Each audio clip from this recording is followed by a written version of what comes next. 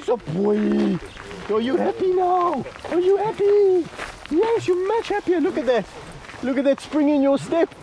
Oh, yes, yes, yes.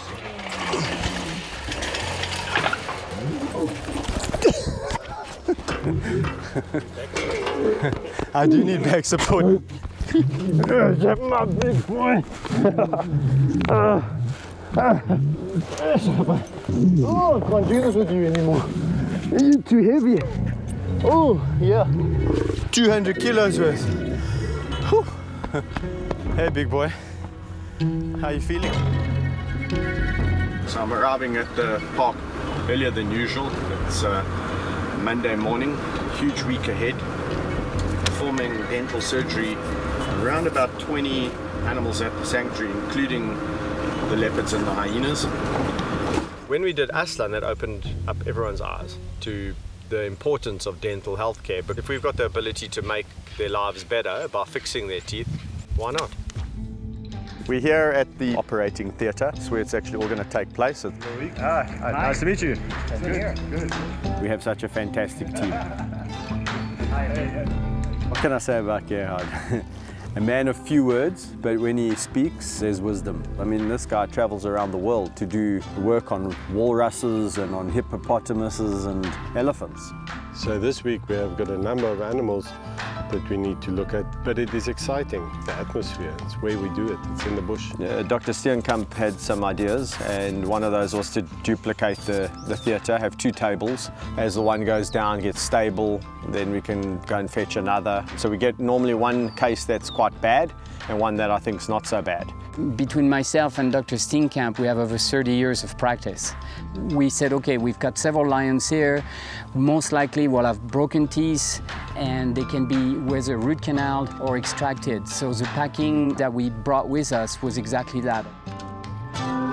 And then there's Adrian, who we call him the anaesthetizer. I've worked with many anaesthetists in my time, but there's a gut feel that he has. He uses the monitors just to verify what he's already thinking, and that's impressive. Always a little bit of anticipation, a bit of nervousness on the first day, no matter how many animals you've anesthetized before this. And I think that's quite a good thing. Once we get going, I think everything will ease and we'll relax a lot more. Hyenas are an incredible species and I hold close to my heart. Each hyena, I'll tell you, they've got characters of note.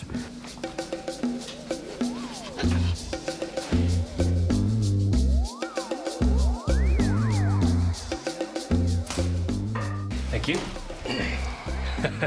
so metal. Not strong enough for hyena teeth.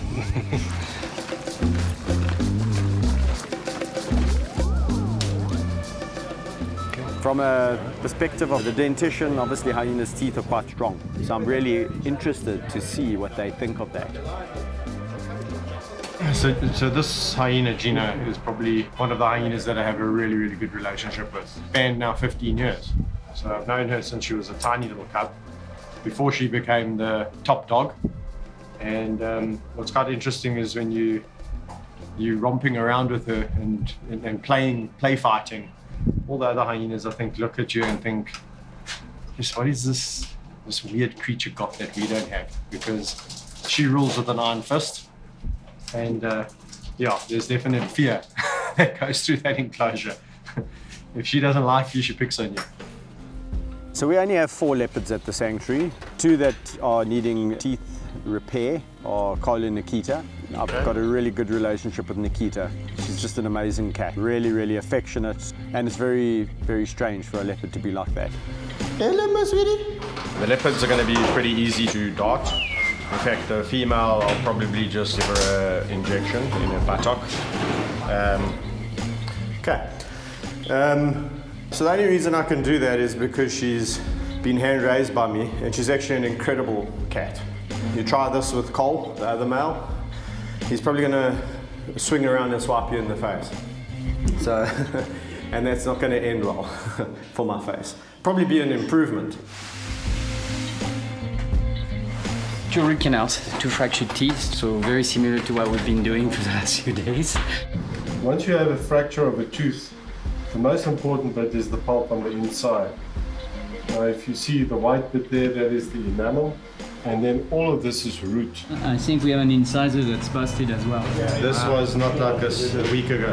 And that infection can then go all the way down this root and eventually even out into the surrounding bone, causing inflammation or infection into that bone, potentially causing an abscess. So our aim this week is to remove all of this, get to a healthy dentine, fill it with cement, the pink gutta percha, and then do a final restoration on the crown.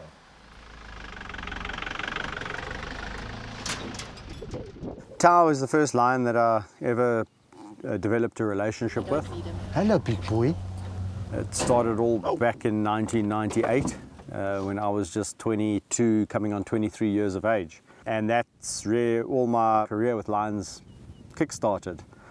So my relationship with Tao has been incredible. It's gone through a full cycle. He's now an old man. There's several complications that one can expect when working with an older animal. Uh, you know, they're not as resilient as, as the younger cats. So we are a bit concerned that when you put him under, that uh, there could be um, breathing problems or heart problems. The one thing that makes me more nervous than anything is those things I can't control, and that would be part of the anesthetics that, that makes you humble. Yeah, we can feel the hot breath coming out. I mean, the worst thing that can always happen is losing an animal under anesthetic or, you know, something going wrong like that. Yeah. But fortunately, you know, those kinds of cases really, really are few and far between. There's always the, the trade-off as to what do you do? Do you not put him under anesthetic and um, leave him with bad teeth? Or do you, you know, take the risk and uh, give him a better quality? You see his muscle tone is not as good as it used to be. You can see he's very thin. The ribs are showing. 206 worn, like attrition. Just hang on a second, just quiet for a second. Stop breathing.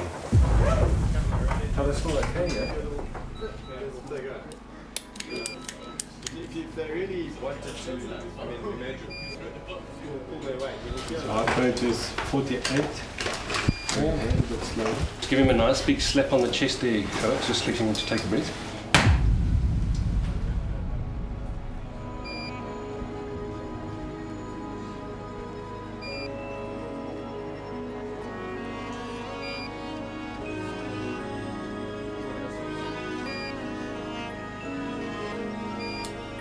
I was lost for words, really. I thought to myself, is this it? This is how I say goodbye. It's not a very nice way. It's not how you'd imagine it after a 18-year relationship or so.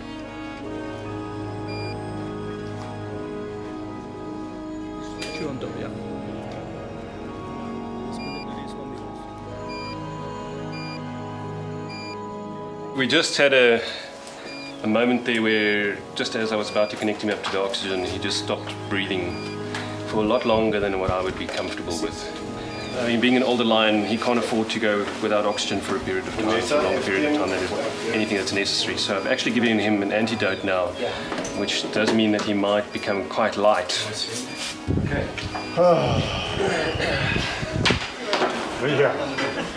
right? No, good. all, all, all's well that ends well. It's a bit of a scare. Always going for your head. 308's got a UCF. Preparation. I wouldn't hang around, you know, get done what needs to be done. It makes one start to reflect on how vulnerable these situations can be, how vulnerable these animals can be in your hands. This big, powerful king of the jungle, and like that, he's flat on his back, clinging on um, to life.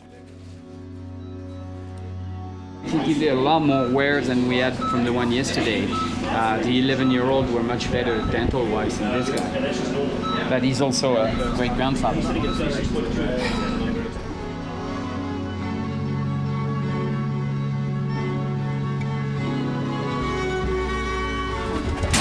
Oh, my boy. Oh, my boy. Not very graceful.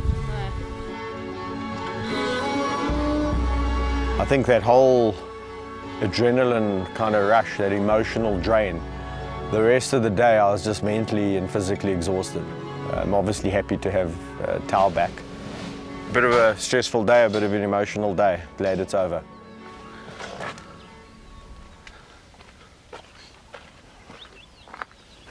Hi guys, so it's the last morning today. We're here at the farm. I'm just coming to collect the guys. Um, don't have such a hard morning. Uh, just got to go and do some checkups on some of the animals, how they're faring. Oh my god! they do. Look at those teeth. Hello. Oh. Yeah, boy. Got, he's got his attitude back, which is good.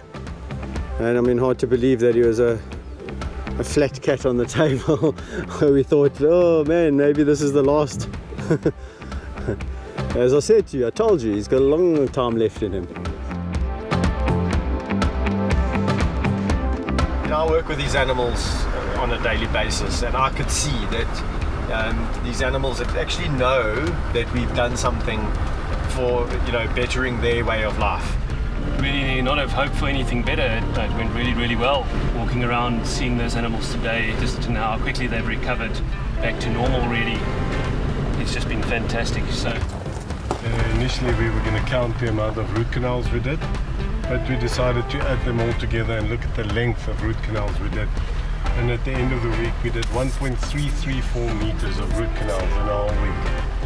I'm sure that's a Guinness World Record. Where on earth do you get to do this? You know that amount of predators um, in one week with those kind of people, that kind of experience in that room. If you take collectively everyone involved, it's just amazing. So definitely something that will go with me to the grave. I think if we each do what we can to help the animals uh, as a collective, we're going to get very far.